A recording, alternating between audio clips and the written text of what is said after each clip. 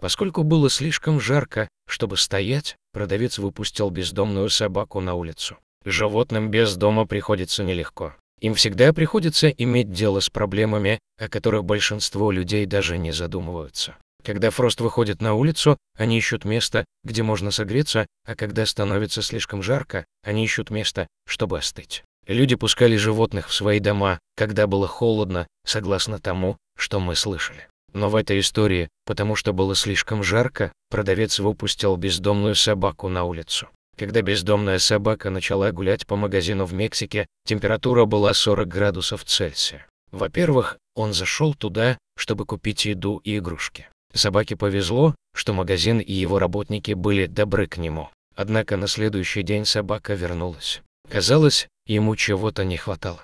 А когда клерк впустил его, он просто лег на пол и уснул. Поскольку было так жарко, добрый работник не разбудил спящую собаку. Игрушка также была куплена для животного клиентом.